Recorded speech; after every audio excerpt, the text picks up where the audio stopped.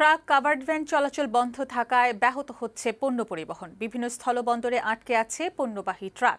দেশের উত্তর ও দক্ষিণ পশ্চিমাঞ্চলের বিভিন্ন জেলায় বাস ধর্মঘটের সাথে আজ থেকে সারা দেশে ট্রাক, কাভার্ড ভ্যান বন্ধ রেখেছে পরিবহন মালিক শ্রমিকরা। এতে পণ্য পরিবহন নিয়ে জটিলতায় পড়েছেন ব্যবসায়ীরা।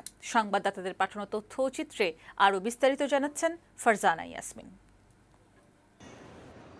ঢাকাসহ সারা দেশে পূর্ব ঘোষণা অনুযায়ী ধর্মঘট পালন করছে পণ্যবাহী ট্রাক কাভার্ড ভ্যানের মালিক শ্রমিকরা।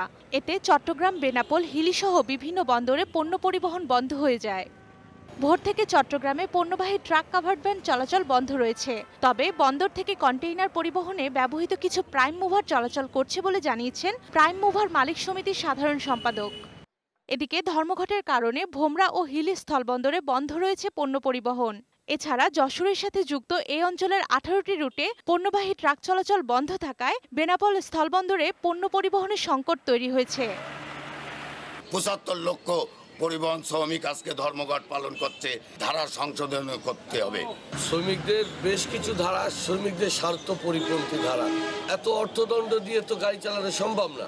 সারাদিন একটা শ্রমিক গাড়ি চালায় পাঁচশো টাকা চারশো টাকা দুইশো টাকা আয় করে।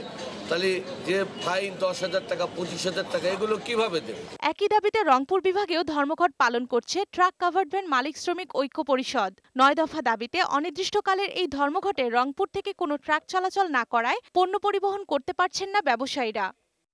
এছাড়া সারা দেশে বাস চলাচলও বন্ধ রয়েছে। দেশের উত্তর ও দক্ষিণ পশ্চিমাঞ্চলের বিভিন্ন জেলায় গেল কয়েকদিনের মতো বুধবারও বাস চলাচল বন্ধ ছিল। এতে ভোগান্তিতে পড়েন যাত্রীরা। ডেস্ক রিপোর্ট, বৈশাখী সংবাদ।